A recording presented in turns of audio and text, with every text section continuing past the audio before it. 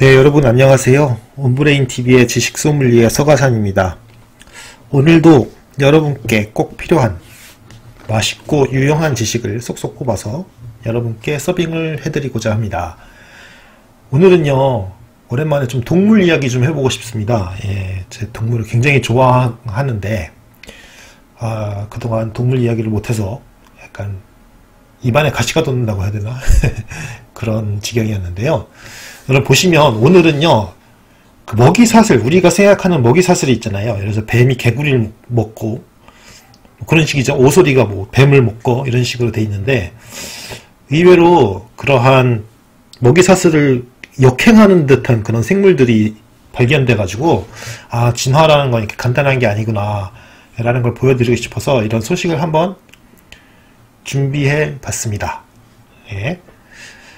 그래서 여러분이 보면 일단 이거는 하나 가져와 봤는데요 보시면 지금 하이에나가 굉장히 음, 그 포악한 동물이잖아요 그렇죠 육식 동물이고요 때로 사냥을 하는데 멧돼지가 지금 막 이렇게 하이에나를 쫓아가고 있는 모습이 나와 있습니다. 그렇죠? 예, 그러니까 1대1로 이렇게 어, 맞짱을 뜨면 예, 파이에나도 어쩔 수 없는 것 같네요. 그렇죠? 근데 보면 이런 것도 있어요. 여러분 보세요. 이거 되게 충격적입니다. 여러분. 이 거대 문어인데 거대 문어가 지금 독수리를 사냥하고 있는 장면이에요. 여러분 이거 캐나다의 어떤 어, 사람이 찍었다고 하는데 어부들이 지금 놀래가지고 그 음, 문어를 떼어내고 지금 독수리를 구해주고 있는 장면인데 보십시오 한번. 이게 어, 느 기사냐면 나우뉴스의 기사입니다. 예. 보면 먹히는 생태계의 먹이사슬은 때로 우리가 전혀 예상치 못한 방향으로 흘러가기도 한다. 수년 전 모두를 놀라게 했던 갈매기 잡아먹는 문어에 이어서 이번에는 독수리를 사냥하는 문어가 포착됐다. 야, 여러분 독수리가 뭐 진짜 그 하늘에서는 그리고 땅에서는 진짜 최고의 그건데 포식자인데 아, 문어한테 또 이렇게 하면 문어가 그런데 이렇게 끌고 들어가면은 그 뭐 독수리라고 뭐 어떻게 하겠습니까 그죠 익사 익사되는 거죠 뭐 그냥 그죠 근데 문어가요 이렇게 보여도 굉장히 똑똑하고 사실은 연체동물 중에서는 가장 똑똑한 게 바로 문어류 이게 두 종류들이거든요 예, 문어 같은 거 이게 머리가 되게 좋고 그리고 보면 이렇게 독수리가 이렇게 물에 이렇게 앉아 있는데 얘가 빨, 빨판으로 이렇게 휘어잡고 끌고 들어가면은 정말 뭐 어떻게 할 수가 없는 거죠. 그죠? 예. 야, 진짜 이거 참. 12일 어, CNN 방송은 캐나다 밴쿠버의 한 연어 양식장 인근에서 문어에게 잡힌 독수리가 어부의 도움으로 겨우 목숨을 건졌다고 전했습니다. 어, 연어 양식업을 하는 그존 이레시라는 사람이 배를 타고 가다가 미, 믿을 수 없는 광경과 마주쳤다고 합니다. 그는 어디선가 파닥거리는 소리가 나서 돌아보니까 흰머리 수리가 문어 다리에 완전히 결박되어 있었다. 오. 어. 미국의 상징새이기도 한 흰머리 수리는 새나 포유류도 잡아먹는 맹금류이다. 그런데 이런 독수리에게 문어에게 독수리가 문어에게 잡혀서 꼼짝도 못하고 있으니 어물로들어서 놀라만하다. 일이었다. 야, 진짜 충격적이었겠는데요. 이건 뭐지? 이건가? 독수리인데, 아, 제가 이게 독수리를 지금 구해준 장면인가 봐요. 그쵸? 와. 진짜 그냥 칭칭 감았네요. 칭칭 감았어요. 그죠? 저렇게 해서 와, 물을 막 뿜뿜 뿜어내고 와, 크네요 문어가 저거는 저기 독수리 친구 독수리인가 보죠 예. 야 엄청납니다 여러분 무게가 상당할 것 같은데요 그렇죠 그러니까 독수리도 어떻게 하지 못하고 있는 거죠 지금 어.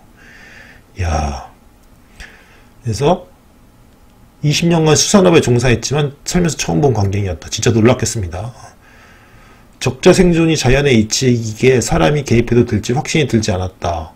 라고 말했습니다. 근데 5분 정도 물끄러미 독수리의 사투를 지켜보던 그는 결국 문어를 복잡아서 독수리를 부르셨다고 하네요. 어. 그 다음에 어, 나뭇가지로 피신한 독수리는 10분 정도 숨을 돌린 뒤 저 멀리 사라졌다. 여러분 진짜 막 이, 야, 이 독수리는 아 시겁했네 이거 이런 심정이었겠죠, 그죠? 어. 나는 판단력을 가진 인간이고 독수리에게 동정심을 느꼈다. 잘못된 행동이라고는 생각지 않는다. 문어와 독수리 모두 살아남았다는데 초점을 맞추고 싶다라고 밝혔다. 어, 잘, 잘, 잘한 것 같습니다. 잘했어요. 그쵸? 어, 독수리도 살리고, 그쵸? 문어도 살리고. 네, 그렇죠. 야, 근데 아까 전에 이 문어 보니까 여러분 보세요. 이거 빨판이 이렇게 막, 막 다리와 다리 사이가 막처럼 이렇게 그쵸? 이렇게 물갈퀴처럼 이렇게 연결돼 있어서 더 꽉 붙잡을 수 있는 그런 구조 같지 않습니까? 그다음에 이거는 갈매기 잡아먹는 장면인가 봐요. 갈매기. 야 이거 완전히 그냥 물에 잠겨버렸네. 2012년 캐나다 브리티시 컬럼비아 주에서도 새를 잡아먹는 문어가 포함, 포착된 적이 있다고 하네요. 야 그래서 촉수로 갈매기 머리를 감싼 문어는 다리 8개를 모두 이용해서 사냥에 성공했고 채 1분도 되지 않아서 물속으로 완전히 자취를 감췄다. 야 그러니까 야, 새들도 그러니까 진짜 사투를 벌이는 그 진짜 와. 문어는 연체동물과 갑각류, 네, 물고기를 주로 먹고 사는데 가끔 새를 잡아먹기도 한다네요. 예. 그래서 수명은 4년 정도지만 최대 길이 6m, 무게 45kg에 육박하는 초대형 문어들은 야 갈매기나 독수리 등 자신의 포식자가 될 수도 있는 조류도 것들이 낚아챈다. 와 재밌 재밌네. 이거 완전히 진짜 그거네. 그쵸? 완전히 진짜 그 우리의 그거를 뛰어넘네요. 우리 상식을 뛰어넘는 그런 거네요. 야, 여러분, 그런데 제가 이런 거, 오늘은 이렇게 먹이 사슬이 이렇게 좀 약간 반대로 돼 있는 것 같은 그런 동물을 좀 준비해 봤거든요. 이제 한겨레에서 좀 준비를 해본 거, 한번 또 소개해 드릴게요. 여러분, 곤충의 환경, 소금쟁이 보신 적 있으시죠? 소금쟁이. 소금쟁이 보면 되게 작고, 그쵸? 물 위를 이렇게 빠르게 이렇게 돌아다니잖아요. 그런데 얘네들이 개구리 알을 잡아먹는데요. 그래서 보면, 어, 우리는 보통 그 벌레 벌레는 이제 개구리는 벌레를 잡아먹는 걸로 알고 있잖아요. 그런데 어, 이런 통념을 깨는 동물들이 적지 않다 되어 있습니다. 그래서 보면 사막이나 물장군보다 소금쟁이도 물가의 포식자라고 하네요. 그렇게 보면 보세요. 이거 지금 여기에 이렇게 보면 개구리 알들 떠 있잖아요. 근데 보면 이렇게 어, 여러분 이렇게 하얀색으로 된 거, 그죠? 여러분 하얀색으로 된 거 보이세요? 이거 투명하게 이거를 안에 빨아먹은 거래요. 무섭죠, 그쵸? 다 죽어버린 날들. 야 그리고 까만색 요거는 이제 제대로 수정난 수정란들이고 그죠? 야 진짜 완전히 무섭네요, 그렇죠? 그래서 음, 소금쟁이는 보통 물에 떨어져 허우적거리는 곤충 등을 잡아먹는다고 하는데 얘네들은 알을 먹기도 한다 이렇게 되어 있습니다. 그렇죠? 음, 재밌습니다, 여러분. 이런 케이스도 있고 또 다음 다른 케이스 보여드릴게요. 이번 케이스도 이것도 한겨레에서 가져왔는데 아 물장군이라고 하는 여러분 이게 되게 어우 끔찍하게 생겼죠. 근데 이걸 보세요. 거북이 잡아먹는 보, 보십시오. 보통 곤충은 곤충이 잡아먹는 거는 뭐 더, 더 작은 것들이라고 생각하는데 이런 거 잡아먹네요. 이렇게 어이구 불쌍하네 이렇게 뒤로 뒤집어져 있네요. 새끼 남생이를 사냥해 먹고 있대요. 근데 물장군은 척추동물을 주요 먹이로 삼는데요. 와 신기하죠. 그러니까 무슨 척추동물이니까 뭐가 있습니까? 예를 들어서 음, 물고기, 뭐 양서류, 그죠? 그다음에 물속에 사는 물장군이 뭐 그래서 그래서 물장군인가? 개구리, 물고기, 올챙이처럼 종종 자신의 몸집보다 큰 척추동물을 먹잇감으로 삼는다. 이뭐침 같은 게 있지 않나요? 물, 물장군 그걸로 막 찌, 막 찔러서 먹지 않나요? 아.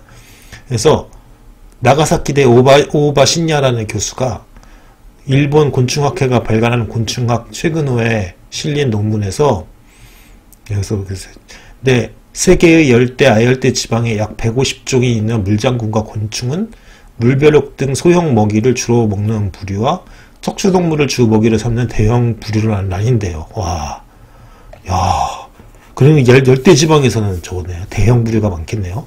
무섭다. 와, 여러분 진짜 무섭다. 그죠? 이렇게 개구리 잡아먹는 거 보세요. 자기보다 훨씬 큰데. 이거 뭐 자기보다 훨씬 큰 이런 올챙이 같은 거 잡아먹고, 그죠? 어, 야. 그래서 그는 2010년 5월 일본 중부 지역인 효고현에서 야간 채집을 하다 수컷 물장군이 남생이를 잡아먹는 모습을 직접 관찰했다. 이야. 어 무서워요. 어, 드라큘라 같아. 강한 앞발로 붙잡고 날카로운 침을 목에 박아서 체액을 빨아먹는데요. 진짜 끔찍하다. 노린재와 같은 계통인 물장군은 아, 그 노린재랑 비슷하게 생겼네요. 그죠? 뾰족한 발톱이 달린 앞발로 먹이를 낚아채서 신경독을 분비하는 침을 박아서 상대를 제압하니 소화 효소를 주입해서 분해된 체액을 빨아먹는다. 어 주스로 만들어서 어우, 끔찍하다. 거북은 죽은 상태였으며 인근 논의 도랑에서 물장군의 알 무더기가 발견됐다. 물장군은 암컷이 물 밖으로 자라나는 수초 낳은 알을 수컷이 깨어날 때까지 돌본다. 아, 진짜 대단하다. 그죠? 예, 여러분, 이거, 그니까, 우습게 보일 생물이 아니네요. 그 다음에 여러분 이것 이것 놀랍네. 여러분 심지어 자신보다 훨씬 큰 살무사를 공격한 물장군이래요. 뱀은 이 포식곤충을 떼어내려고 한 시간 동안 몸부림을 쳤다. 진짜 와 곤충계의 폭군이네 진짜. 다음에 물장군이 살무사를 포식하는 사례를 보고했대요. 연못에서 물장군이 자기보다 훨씬 큰 살무사를 습격했는데 뱀은 이 벌레를 떼어내려 완강하게 저항했다고 합니다. 이런 싸움은 1시간가량 계속됐는데 어, 관찰자가 자리를 비운 사이 둘 다 사라져서 물장군이 사냥에 성공한지 알 수 없었다. 야 이거 사냥에 성공했다면 대단한 거네요. 와. 야 그래서 새끼 거북에게 중요 천적은 황소개 구리나 새, 포유류 등으로 알려져 있는데 그 살무사의 천적은 또 포유류로 알려져 있는데 이 결과를 통해서 물장군도 하나의 포식자일 수도 있다. 이런 지금 그게 나왔나 봐요. 뭐 우리나라에서도 물장군은 뭐 이런 거 먹는다. 이런 것도 돼 있고요. 그렇죠? 음. 야, 이거 논에서 벌어진 살무사와 물장군의 사투 유튜브 영상이 있대네요. 야, 재밌습니다. 이런 거, 와, 이것도 상식을 깨네요. 곤충이 뱀을 잡아먹는다고? 그죠? 와, 진짜 놀랄 노자입니다. 자, 다음 것도 볼까요? 이것도 좀 상식을 깨는데, 여러분 보십시오.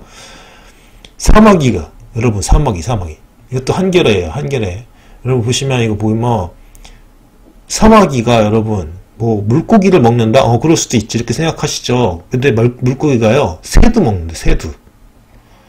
아 이건 진짜 충격적입니다 여러분. 야, 야 여러분 그래서 보면 곤충계 최고의 포식자인 사마귀의 집게발은 먹이를 움켜줘서 꼼짝 못하게 하는데 날카로운 입으로 물어뜯는다. 오 무섭다.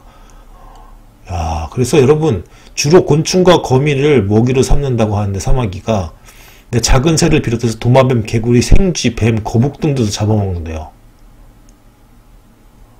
그러나 이들 중 상당수는 우연한 일화이거나 사람이 인위적으로 가두어 싸움을 붙이는 방식. 이거 또 이런 짓을 또왜 합니까? 왜 하나? 그쵸? 아우, 징그러.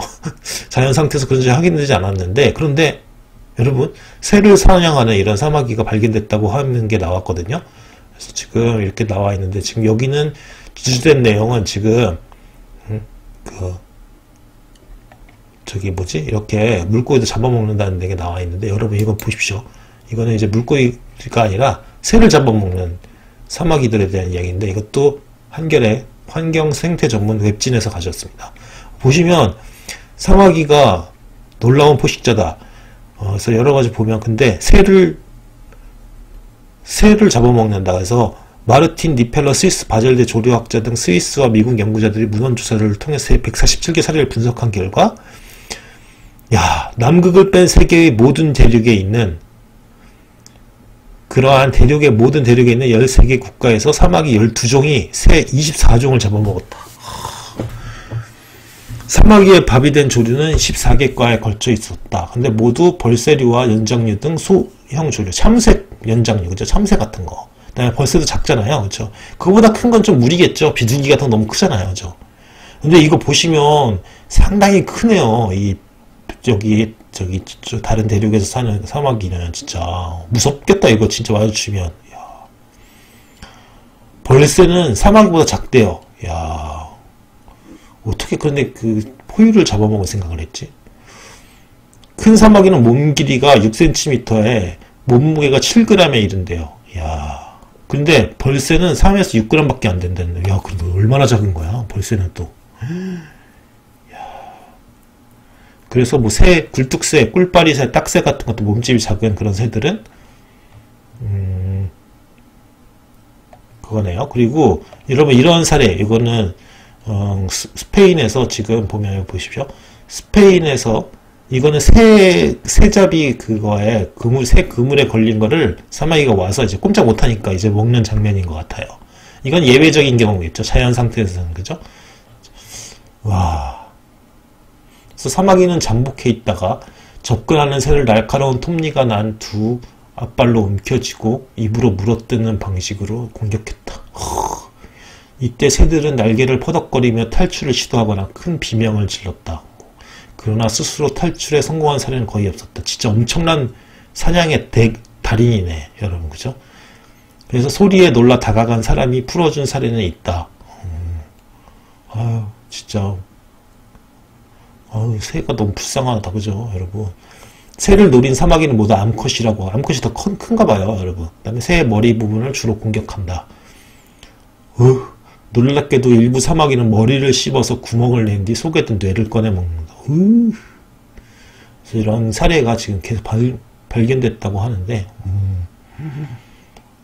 그래서, 어쨌든, 음, 이렇게 지금, 와, 이렇게 벌새를 잡아먹는 그런, 어우, 진짜 무섭네요. 그죠? 여러분, 그래서, 어, 미국에서 1900년대 친환적 경적 해충 방제를 위해서 풀어놓은 외래종 대형 사마귀들이었대요. 그러니까 거미라든지 뭐 이런 거 그런 거 잡아먹게 하기 하려고 이렇게 풀어놨는데 작은 새들을 잡아먹네 진짜. 아 그러니까 역시 조심해야 돼요. 외래종 도입할 때는 그죠? 그래서 여러분 사마귀 같은 걸 이제 방제 생물학적 방제라고 그러죠. 그러니까 생 그 어떤 해충 같은 거 이제 그거 하려고 쓸 때에는 이것도 조심해야 되겠네요. 새한테 영향을 끼칠 수 있으니까 그렇죠? 야 진짜 이러한 사례들이 있네요. 진짜 무섭습니다. 무서워요. 자, 그래서 여러분 보면요. 진짜 이렇게 먹이 사슬이라는 게 간단하지 않다는 거를 여러분 알아두실 필요가 있네요. 그렇죠? 어, 우리가 그냥 생각할 때는 무슨 뭐 벌레를 잡아먹는 새는 벌레를 잡아먹는다고 생각하지만 벌레가 새를 잡아먹을 수도 있, 다 어, 진짜. 오, 이런 거 보면 진짜 무섭습니다. 자, 오늘은 여기까지 하고요. 다음에 또 더 재미있는 지식으로 여러분 찾아뵙도록 하겠습니다. 항상 감사합니다, 여러분.